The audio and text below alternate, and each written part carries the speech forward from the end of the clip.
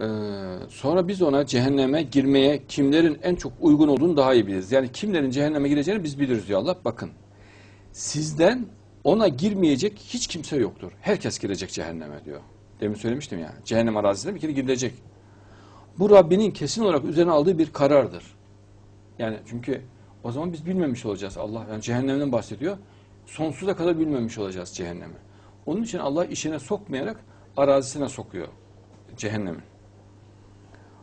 Sonra takva sahiplerini kurtarırız. Sonra onlar oluyor yani müminleri, takva sahiplerini o araziden alıp cennete götürüyor Allah, gö- götürtüyor. Zulmedenleri e, dizüstü çökmüş olarak bırakırız. Yani cehennem arazisinde onlar dizüstü bırakılıyorlar. Orada kalıyorlar. Sonra oradan cehennem alınıyorlar. Yani ikinci aşamada.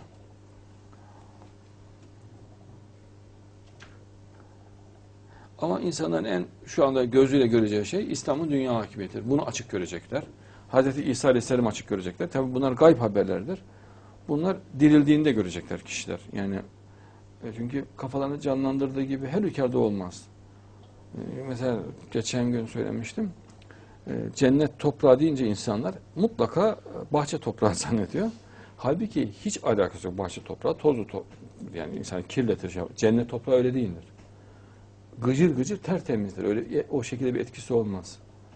Mesela cennet ağaçları da insan her ülke dallı budaklı tozlu falan bir şey zannediyor. Öyle değildir.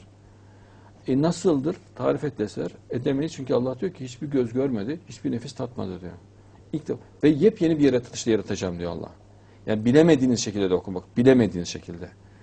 Biz nasıl bilemeyiz? O zaman fizik ve kimya kanunlarına uygun değil. Bizim bildiğimiz fizik kimya kanunlarının daha değişik bir sistemden yapacak demektir Allah. Yani yeni bir sistem. İnşallah.